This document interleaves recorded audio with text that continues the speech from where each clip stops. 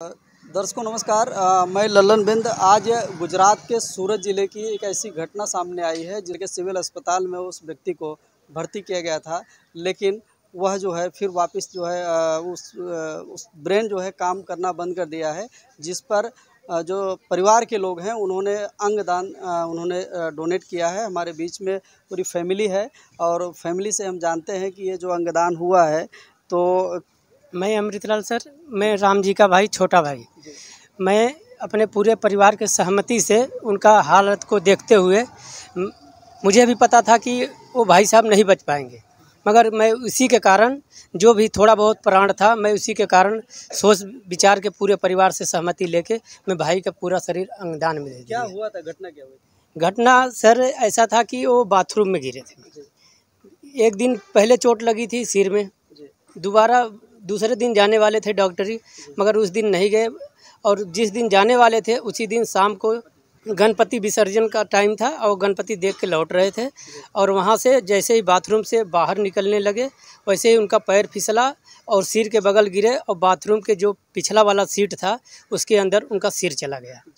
इसी के वजह से उनके सिर में भारी भारी चोट लगने के कारण उनका ब्रेन खराब हो गया। मूल निवास उनका कहाँ था?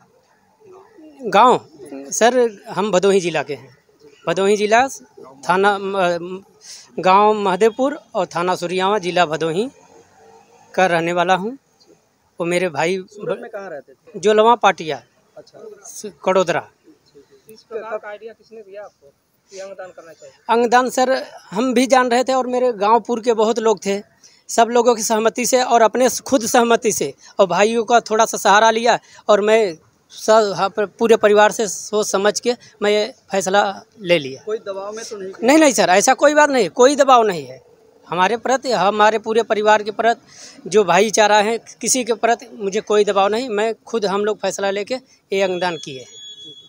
तो दर्शकों मैं कुछ समाज के संग जो समाज है समाज के लोग भी हैं उनसे भी हम जानते हैं।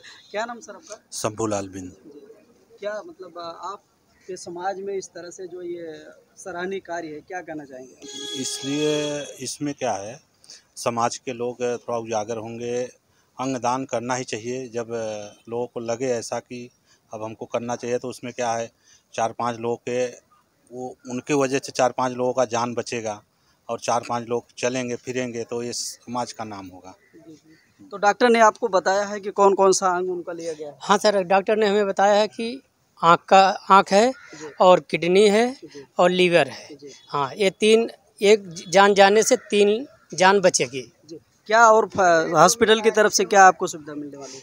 हॉस्पिटल की तरफ़ से सर हमें यही सुविधा है कि अगर हमारे परिवार में हमारे भाई हमारे भाभी के या कोई परिवार में अगर कोई दुर्घटना ऐसा हो रहा है कि जो अंग काम ना करता हो इसके लिए हमें यह सुविधा है कि हमें अहमदाबाद डॉक्टरी में अगर कोई दिक्कत हो रही है तो वहाँ पे हमें रेफ़र किया जाएगा। वहाँ पे वो चीज़ हमारे अंदर लगाया जाएगा जो यहाँ से हमारे भाई ने दिया है। उसके प्रति भी अगर कोई दिक्कत हो रही है तो वो भी हमारे लिए वहाँ से सपोर्टिंग मिलेगी। तो बॉडी को कहाँ लेके जाएँगे सर हम बॉडी को ले जाएँगे गाँव। तो स्वयं खर्चे से लेके जाएँगे या अस्पताल नहीं सर इस स्वयं खर्चे से नहीं ये अस्पताल के खर्चे से लेके जा रहे हैं। आप समाज की तरफ़ से क्या कहना चाहेंगे? समाज की तरफ़ से पहले तो मैं राम जी भाई के अचानक मृत होने पर हमारी संवेदना है, हमारे समाज की संवेदना है। उनके इस दुख घड़ी में पूरे परिवार के साथ हम खड़े हैं, हमारा पूरा समाज खड़ा है सूरत में। बहुत ही नेक कार्य किया है समाज के द्वारा, भाई के द्वारा जो बोल रहे हैं, अपने भाई का अंगदान दिए हैं। इससे कई ज़िंदगी बन जाएगी, एक बहुत सुंदर सुंदर और सराहनीय पहल है। ऐसे लोगों को करना चाहिए, ज़्यादा से ज़्यादा लोगों को दान देना चाहिए। बोलिए सर शुभ नाम क्या, सर? મારું નામ મારા નામ માય- મારું નામ ડૉક્ટર અંકુર બાબરિયા છે. હું લીવર ટ્રાન્સપ્લાન્ટ સર્જનથી સાહેબ હોસ્પિટલ અમદાવાદમાંથી. આજે અમને સુરત સિવિલ હોસ્પિટલમાંથી એક ચાલીસ વર્ષ દર્દીએ કે જેને હાઇટ ઉપરથી પડી ગયા હતા અને બ્રેન ડેડ થઈ ગયા હતા એમના ઓર્ગન ડોનેશન માટે કોલ આવ્યો હતો ને અમે આજે લીવર અને કિડનીનું દાન સ્વીકાર્યું છે અને જે અત્યારે અમદાવાદમાં એનું ટ્રાન્સપ્લાન્ટ થવામાં આવશે.